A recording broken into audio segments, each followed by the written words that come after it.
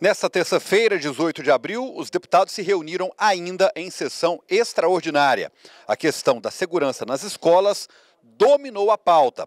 O deputado Fred Rodrigues criticou a postura do governo federal diante da situação quando ele disse que, na verdade, as medidas que estão sendo tomadas para proteger as crianças estão, na verdade, buscando transformar as, prisões, as, as, escolas em prisões de segurança máxima. Ainda que eu acho que ele entende bastante de cadeia, uh, eu acho que não é o caso. Eu acho que ele, na verdade, está tentando desvirtuar o diálogo, desvirtuar o debate e procurar um bode expiatório nas redes sociais que ele não esconde, pretende regularizar, afinal foram os responsáveis pela derrocada dele.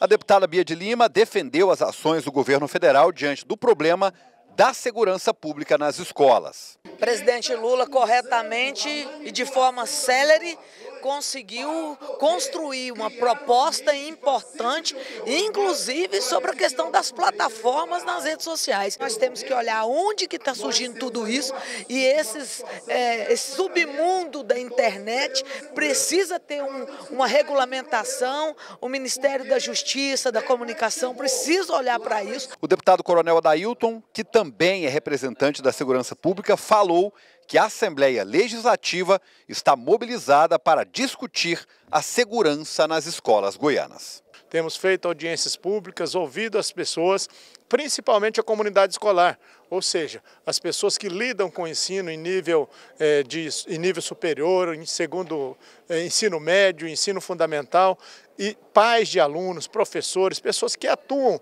nesse campo, e envolvendo também os líderes, os chefes, os comandantes das forças de segurança em Goiás. E o resultado tem sido muito bem aceito pela população, porque nós queremos entregar não apenas a sensação de segurança, mas principalmente a segurança efetiva, segurança verdadeira.